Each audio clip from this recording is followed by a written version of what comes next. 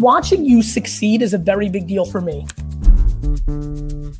It's because you've executed. And even though, and this is important, I want everybody to hear this. This is not, I'm not saying this just to make Robin feel good, though it's a nice, it's a nice byproduct. You know, when we met together in London, it was very obvious. I'm like, oh, here is a byproduct of a thesis I had. And it feels so nice because others have had the thesis, others communicate the thesis. It's so nice that this man is benefiting from seeing some of my free content and going and building his dream. You felt those effects. Fast forward, TikTok. You said something very important here. I recognize that TikTok's the next thing, like I've done for 15 years. You knew that to be true because that's why you jumped on it. And yet it took 27, whether it was 13, whether it was 55. What I can promise you, it wasn't the first time. The first time you heard me say TikTok, you said, ah, 13, 14 year old girls, ah, TikTok's not big in Germany. Whatever you said, even though you were advanced, you were not in the 101 class. You already were in the 301 class. You might have even been in the business school at this point.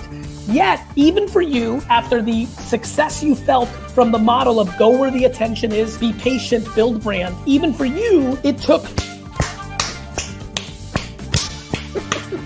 And then you go and you find incredible success because don't forget, you, you built up a 100,000 person audience on a very young, your future customers, right? And so I wanted everybody to hear that. I'll tell you why.